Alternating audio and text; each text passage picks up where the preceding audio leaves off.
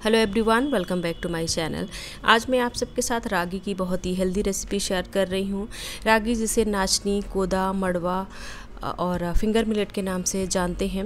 रागी में ढेर सारा आयरन पोटेशियम कैल्शियम और मिनरल्स होता है और ये डायबिटिक फ्रेंडली भी होता है। ये ब्लड शुगर लेवल को कंट्रोल रखता है।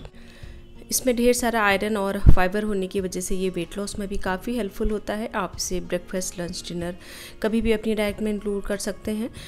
यहाँ पे मैंने वन कप रागी आटा लिया है और साथ ही में वन कप पानी लिया है और थोड़ा थोड़ा करके इसको हम मिक्स करेंगे। एक स्मूथ बैटर इसका रेडी कर लेंगे। पानी को एक साथ ऐड नहीं करेंगे धीरे धीरे हम इसमें ऐड करते जाएँगे, अदरवाइज़ इसमें लम्ब्स क्रिएट हो जाएँगे। अब यहाँ पे मैंने कुछ वेजिटेबल्स ली हैं। इनमें बीन्स हरा धनिया, प्याज, शिमला मिर्च और गाजर और थोड़ी सी जो है ग्रीन चिली चॉप करके ऐड की है। आप अपनी पसंद की कोई भी वेजिटेबल इसमें ऐड कर सकते हैं इसको हेल्दी बनाने के लिए। और साथ ही मैं चॉप किया हुआ जिंजर और गार्लिक है। अगर आप गार्लिक यूज़ नहीं करते हैं तो आप इसको स्किप कर दें। साथ ही मैं सॉल्ट और वन फोर स्पून ये अजवाइन है और वन पिंच ये हल्दी। इसमें कोई ढेर सारे मसाले यूज़ नहीं होते हैं जितने इसमें कम मसाले रहते हैं इसका टेस्ट उतना अच्छा होता है। और मैंने बाकी का इसमें जो वाटर था वो भी ऐड कर लिया है। अब इसे कम से कम आधे घंटे या फिर वन आवर के लिए इसको हम रख देंगे ताकि ये अच्छे से आ, सारी चीज़ें मिक्स हो जाएँ।